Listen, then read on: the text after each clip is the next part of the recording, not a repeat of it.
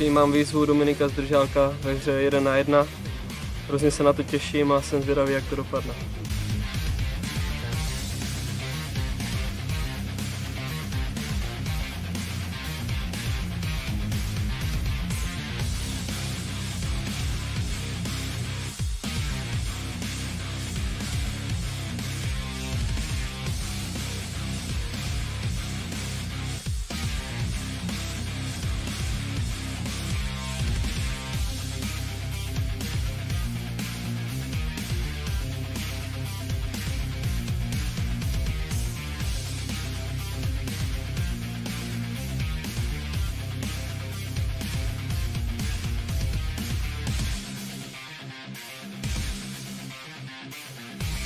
Bylo to něco obohacujícího a, a jsem strašně rád, že jsem si to mohl vyzkoušet proti mistrovi, mistrovi České republiky a, a, a pro mě cený skalp, že, že jsem mu udolal na závěr panou.